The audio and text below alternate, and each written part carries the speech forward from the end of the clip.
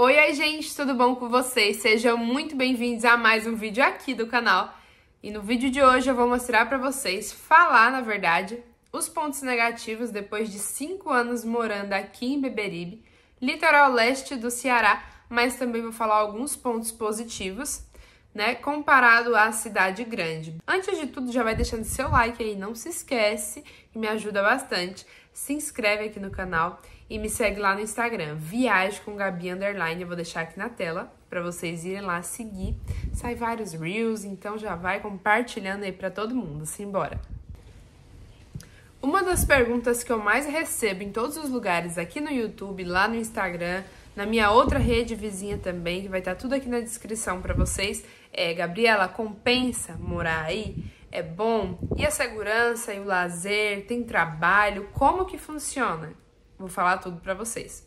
Primeiro ponto que nós vamos começar é sobre o lazer. Gente, aqui é uma cidade turística, então as praias são paradisíacas, lindas de viver, assim, de se ver de tudo, são lindas mesmo, vale super a pena você vir conhecer. Morro Branco, moro pertinho, tem as falésias do Morro Branco, super conhecida. Então você é um exemplo, tá ali almoçando, no horário de almoço você dá uma corridinha ali na praia, quem não mora perto da praia, a maioria da galera, é isso que eu tô falando, tá? Quem não mora perto da praia, mora próximo a uma lagoa. Então dá para você fazer isso. Para o almoço ali, se gostar de sol, vai no horário de almoço, pega um solzinho, toma um banho de mar e volta para trabalhar. Quem não gosta, a maioria do pessoal também sai 5 horas do trabalho, pega aquele finzinho de tarde na praia, é bom demais. Então a gente consegue ter esse equilíbrio entre o lazer e o trabalho. E aí no final de semana é que a galera curte mesmo. Pega os carros 4x4, passeio de bug e vão para as dunas assistir pôr do sol. Lazer, nós já vimos que aqui vale bem mais a pena do que na cidade grande. Na cidade grande, fazer isso seria bem mais complicado. Fora aqui um exemplo: quem mora em São Paulo, vai, como eu morava, é uma selva de pedras, então você não tem esse lazer, entendeu? Não tem. É não tem o que você fazer mesmo. Só se você morar num prédio com piscina e aí você descer ali um pouquinho. Mas também tem a questão do clima, né? Que nem sempre tá apto ali para você pegar um solzinho. Ele é meio doido o clima de São Paulo. E também é, em Fortaleza você tem a praia, tem o sol, mas às vezes não dá tempo por conta do trânsito, enfim, as coisas são mais distantes, mais demoradas, e a gente vai falar tudo sobre isso mais pra frente do vídeo. Sobre o custo de vida aqui na cidade de Beberibe. É ok, tá? Não é aquele bicho de sete cabeças, não é uma ilha que tudo se torna mais caro, não é assim. Aqui os preços são normais, tem um ponto ainda positivo e melhor, os aluguéis são bem mais baratos, né? Mais reduzidos do que comparado à Fortaleza. E eu tô comparando a Fortaleza porque é o mais próximo daqui, né? Geralmente a galera fica em dúvida entre Fortaleza e vir pro litoral. É, compensa bem mais aqui. Tem a questão de que você não vai encontrar um prédio de 14 andares, um exemplo, para você morar, que aqui não tem, tá? Tem alguns prédios de até quatro andares, se eu não me engano, três ou quatro andares. Nunca parei assim para contar, mas na minha cabeça em média é isso, mais alto que você vai encontrar e construí uma agora recentemente também. E a galera me pede muito para fazer esse vídeo, né, sobre aluguéis daqui e ver as casas e tudo, e eu vou fazer, tá? Eu tô tentando fazer esse vídeo, já puxando outro gancho aqui, não tem imobiliária. Então é uma pessoa específica que cuida de algumas casas, né? E a maioria é boca a boca, então não tem esse negócio de imobiliária, tá cuidando de certas casas, tipo assim, você vai, quando a gente ia alugar a casa, em São Paulo, né? Eu digo por São Paulo que eu nunca morei em Fortaleza, agora falando de São Paulo. A gente ia numa imobiliária e eles tinham lá tipo um catálogo de casas para você alugar. E aqui não tem isso. Porque vocês já imaginaram um exemplo em São Paulo, ninguém se conhece, entendeu? Então tem que colocar na imobiliária mesmo por conta de regras de segurança, tanto para a pessoa que está alugando, tanto para a pessoa que vai alugar, porque ninguém se conhece. E aqui o negócio já é diferente. A maioria da galera se conhece e a maioria dos imóveis são alugados assim. Boca a boca, um vai falando pro outro e é desse jeito. Tem os corretores, né? Claro que tem os corretores que vendem casa, eles vendem terrenos também. Tipo, se você quer colocar uma casa à venda, aí você vai lá, procura um corretor e aí ele vai, anuncia para você, cuida, se alguém quer é, comprar, vai, fala com ele, faz toda essa burocracia, sabe? E agora nós estamos em 2024 com uma variedade aí de mercado aqui em Beberibe. Cara, isso foi assim, ó, tipo, um boom. Quando eu cheguei aqui cinco anos atrás, não tinha, só tinha os de bairro, né? Normal. Era ok também, tinha tudo normal. Só que agora vieram os mercados de rede, grande, entendeu? Então isso melhorou muito, tanto a questão do horário, eles expandiram, e automaticamente os menores também expandiram, tipo assim, uma horinha. Gente, faz uma diferença, viu? Porque, um exemplo, quando eu cheguei aqui só tinha mercado até 8 da noite. E agora tem mercado até 10 horas da noite.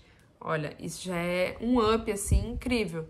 Porque às vezes não dá tempo, você tinha que sair correndo e tudo já fechando. Sete e meia já começava, sabe? Encerrar o açougue, os negócios. E aí você tinha que comprar tudo cedo. E agora não. Dá para você ir no mercado mais tarde, então essa variedade aí, além de gerar muito emprego para a cidade, galera que vem de fora para cá também por ser turístico, é muito bom porque o pessoal às vezes acredita que tem coisas 24 horas, ainda tem gente que procura coisas 24 horas e aqui não tem. E tendo pelo menos até 10 horas, aí já é de boa, entendeu? O pessoal consegue chegar mais tarde da praia, ir no mercado, comprar uma janta, alguma coisa assim. Porque os turistas, a maioria que não se informa, vem achando que é igual a cidade grande, entendeu? E agora os horários tá quase parecido com a cidade grande, né? Dos supermercados. Só que aí a gente entra já na outra questão, sobre 24 horas. O que é que funciona aqui 24 horas? Só o hospital mesmo, porque supermercado, posto de gasolina, ainda, ainda não tem. Escreve o que eu tô dizendo, que eu acredito que já já vai ter alguma coisa por aqui 24 horas. Tem muita gente já que passa procurando. É, às vezes eu tô lá na loja e aí a galera passa desesperada, sem gasolina no carro, com criança, com tudo e não tem nada aberto, entendeu? Esse horário. Mais tardar que você encontra coisas para comer é meia-noite. E aí vai nessa vibe aí, mas eu tenho certeza que vai evoluindo, né? E sobre a segurança? Meu povo, aqui em Ibiribe é bem tranquilo em relação a isso. Claro que você não vai pegar e vai, sei lá, deixar seu carro todo arreganhado lá no meio da praça, entendeu? Vai fazer isso também, né? que é questão de lógica, mas é um local seguro comparado à cidade grande, que é o que nós estamos comparando aqui. Você pode estar tá deixando o carro na rua, né? Que provavelmente não vai ser mexido. Quem não quiser arriscar, melhor. Mas é mais seguro do que a cidade grande você poder parar um carro na rua e passar uma noite, vai se precisar, entendeu? Dá para fazer isso aqui. E sobre quem quer vir morar para cá com filhos ou quem estuda, faz faculdade, jovem, adulto. E aí vamos falar sobre isso agora. Faculdades. Aqui por enquanto não tem. Dizem que vai ter uma faculdade, né? Eu já vi que tá tendo alguns cursos, não sei como é que tá isso, preciso até me atualizar, mas que eu saiba até agora não tá tendo faculdade mesmo, né? Escolas, já tem uma escola grande aqui, tem algumas particulares também, que são menores, e tem as escolas públicas normal, tem a escola técnica, tudo normal, gente. Escola comum, igual a todos os outros lugares. E aí, sobre o transporte, ponto positivo daqui também é que tem transporte gratuito para levar você para a escola, para trazer de volta, tem os horários, né, os pontos que os ônibus pega. Então, é, as escolas públicas, isso que eu tô falando, tá? Eles pegam pessoas de escolas públicas, esses transportes gratuitos.